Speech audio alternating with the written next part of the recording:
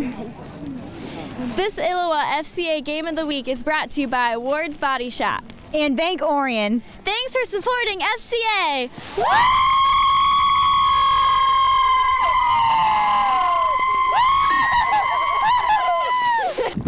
And a running back. A five foot eight, 175 pound senior number 25, Jacob Edmonds.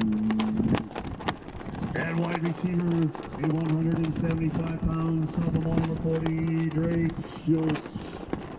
And a quarterback, a five foot 10, 100. and- There's a different twist to this game compared to the other umpteen million times the Rockridge Rockets and Orion Chargers met on a football field. This is the first time they've met in the postseason, so they're not thinking about the past at all. They're thinking about the future. The winner moves on to the next round.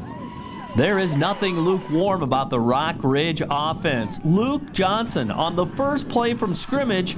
This is becoming a habit for him. 51 yard sprint to the zone, and the Rockets are quickly on top, 7 to nothing. Rockridge defense sets the tone early as well. Dakota McManus takes care of his man. Rockridge keeps the pressure on. Johnson on fourth down, 19 yards to Alex Harrison for another touchdown, and it's 14 0. Orion's defense tries to tighten. Carson Bloomberg with a big hit there. But Johnson continues. The rocket surge. That is an 11 yard pickup to move the sticks again. And right after, Johnson again lugs the leather, this time 35 yard TD sprint. 245 yards rushing for him. It's 21 0 at the half. In the third quarter, Johnson keeps his legs churning, ripping off a 17 yard pickup. Orion never quits, though. That is Drake Schultz with the pick to stop the Rockridge drive. But this fourth quarter, scoring run ices it for Rockridge. Johnson pitches to Dalton Weber. His speed takes him 37 yards to the house, extending the lead to 28 0. Now the Chargers have a spark left.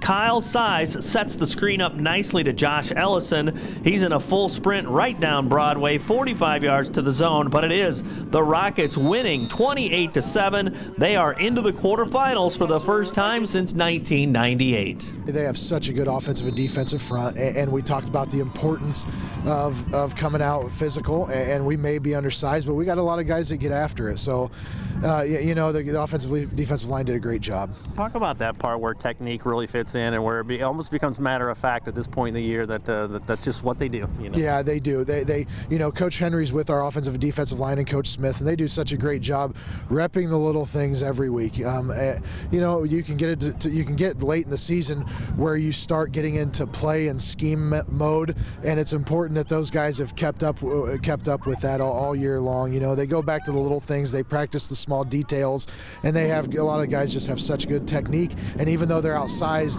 they're able to do so well up front because of the heart they have and the technique. How great was it to, to get that early lead?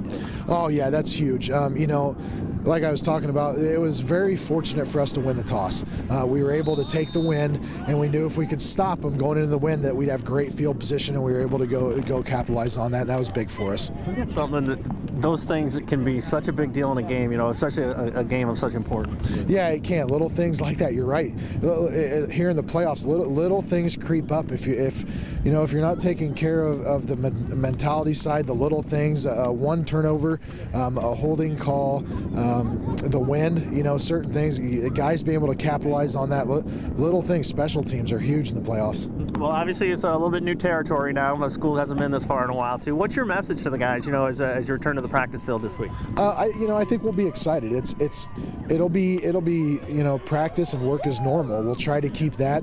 Um, we won't do anything different as par, as far as practice. We won't celebrate, you know, in, during the week. Uh, we're going to come working because because we want to go further. We're, we're, we're excited and happy, but but not satisfied. We knew they were going to be big up front, and we had to come out strong. I think that's what we just did. Yeah, scoring first is a big deal. It gets in their heads and gets more confidence for us. Tell me, too, about, you know, execution wise, you know, obviously, you know, Luke had a great game and everything, too, but you guys have so many weapons, too, and kind of today was his day, really. Oh yeah, it's like last year we we had pretty much only two people that had got the ball every time, but this team we have seven people catching the ball, and three people who can run the ball, and it's just it's good.